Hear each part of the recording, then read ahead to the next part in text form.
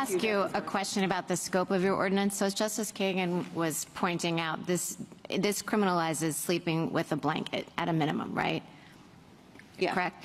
But I, as I understand it, after this decision, and, and maybe after Martin, before that, there was some question about whether it also criminalized um, having fires, campfires, tents. Can you talk a little bit about that and what the scope of it is? Does the Constitution then make it impossible for a city to limit the use of fires and encampments, tents, th those kinds of temporary shelters? It really does, because the rationale of Martin, the, the argument that it's a biological necessity to sleep outside, the respondents argue a blanket is necessary in Oregon. Some might argue a tent and a fire is necessary in North Dakota. The Eighth Amendment really doesn't give us any answers to what cities can and can't prohibit. It's really administratively impossible for cities on the ground as well as for courts to administer. So we're I'm sorry, this, we have nothing to do with fires or tents.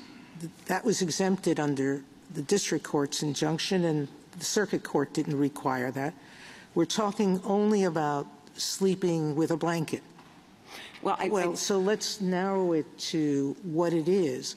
Um, I agree there might be other cases in the Ninth Circuit that are not uh, rational.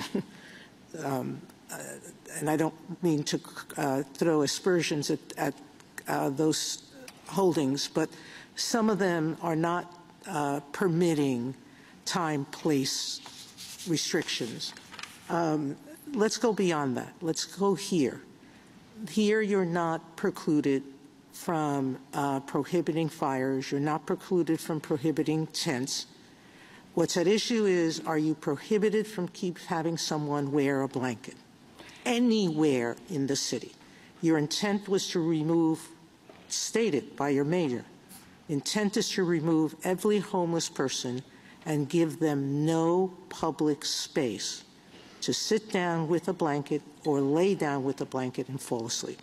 that's not the intent of the law, and I would like to address Well, that point uh, because the other side. Why don't has- you answer the basic question? Yes.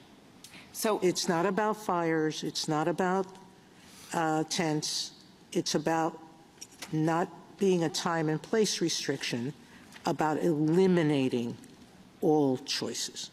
So we think that it is harmful for people to be living in public spaces, on streets and in parks, whatever bedding materials, when humans are living in those conditions. it- We think that that's not compassionate and that Oh, it's no not, but dignity in that. neither is, we neither don't. is providing them with nothing Well, to alleviate that situation. this is a difficult policy question, Justice Sotomayor. It, it is. Where do we put them if every city, every village, every town lacks compassion and We- passes a law identical to this?